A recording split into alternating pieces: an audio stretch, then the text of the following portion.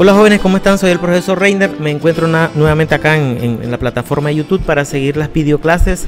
El día de hoy pues vamos a continuar con los ejercicios de Cadesimum. Eh, vamos a, aumentando la complejidad de los ejercicios y bueno, vamos a hacer el, el ejercicio número 13 si no estoy equivocado. Y bueno, vamos a ir avanzando poco a poco para ir eh, estudiando para ir discerniendo muy bien todas las, mm, vamos a decir así, las características del software y ir viendo cómo funciona cada uno de los componentes que nos ofrece en su galería este software. Entonces acá el ejercicio nos plantea la siguiente situación, elabore un esquema de mando y fuerza de un cilindro simple efecto con las siguientes condiciones de trabajo. Como ya había explicado anteriormente, eh, vamos a estar haciendo todos los ejercicios que nos ofrece esta galería de este software pero que tenga que ver con los componentes de neumática. Después vamos a pasar a ver los de motores. Bien, eh, dice acá que al pulsar, al pulsar el, primer inciso, al pulsar encendido, pasan 6 segundos, el vástago sale con una velocidad normal. El siguiente inciso dice, al pulsar apagado, o sea, off, el vástago entra con velocidad regulada en un 30%. Entonces aquí hay que ver qué válvula es la que vamos a estrangular. Y lo último vamos a aplicar las señalizaciones necesarias. Entonces ahora nos vamos al software de KDSimon, que por acá ya lo tenemos.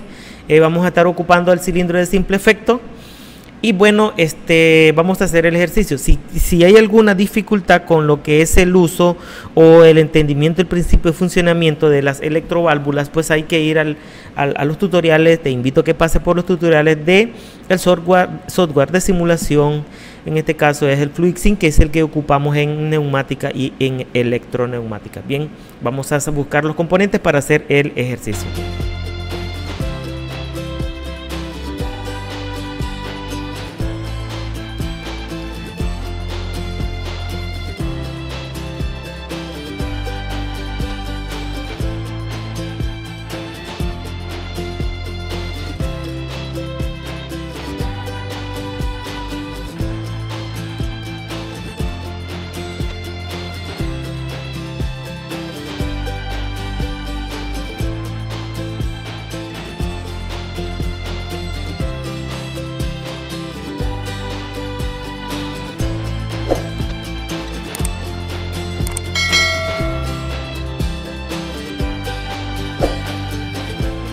Bien jóvenes, aquí ya tenemos montados los, los, dos esquemas, tenemos el de mando y control y también aquí tenemos el de fuerza y potencia. Entonces, o, como podemos observar acá, tenemos nuestro control de inicio, que sería nuestro paro, eh, nuestro encendido con su retención. Esta, este, esta bobina retiene, esta bobina manda a encender el timer.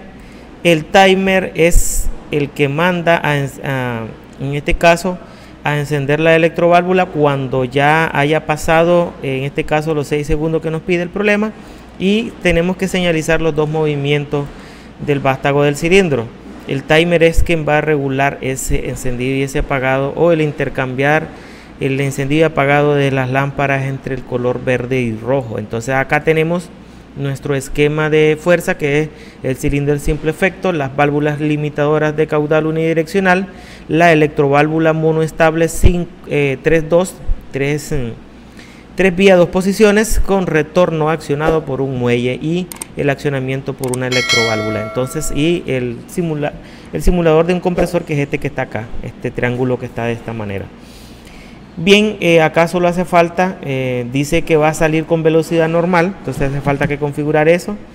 Y eh, se va a contraer o va a retornar con una velocidad regulada de un 30%. Entonces vamos a configurar esa parte que nos está pidiendo el problema. Entonces ahora cuando iniciamos simulación, el sistema está detenido. El color rojo es el que está eh, predominando eh, en las señalizaciones. Ahora cuando venimos a pulsar marcha, eh, se retiene, enciende el timer, pasan 6 segundos para que encienda la electroválvula.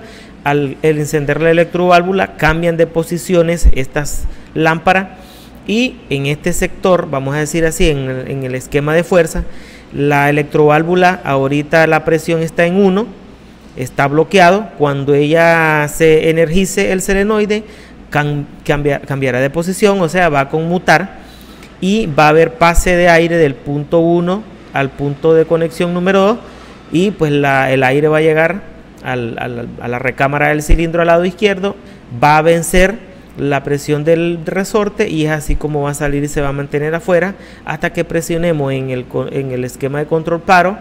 Entonces, ¿verdad? La presión va, la electroválvula va a cambiar de, de posición, la presión, el resorte va a ganar y el, el aire va a venir a a escapar por este punto de conexión a la atmósfera. Entonces pulsamos acá, ahí está retenido.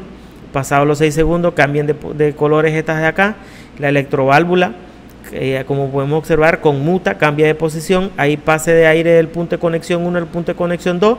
Y es así como se llena de aire la recámara del cilindro del lado izquierdo. El émbolo desplaza la presión del, del resorte y es así como va a salir y hasta que presionemos el paro. Cuando presionemos paro, entonces en ese caso gana la presión del resorte y el aire va a venir a la atmósfera. Y de esa manera es como va a estar funcionando este pequeño esquema con, eh, en este caso, un cilindro de simple efecto temporizado y en este caso estamos utilizando un timer on delay.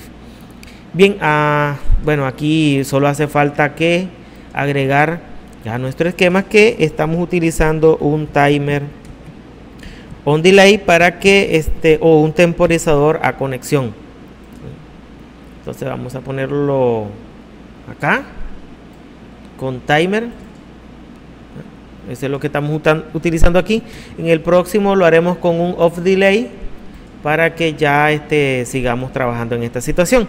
Y bueno, nada, mm, este, a todos los que están viendo los, estas videoclases, si les está sirviendo, compártanlo con, con sus amigos en sus redes sociales.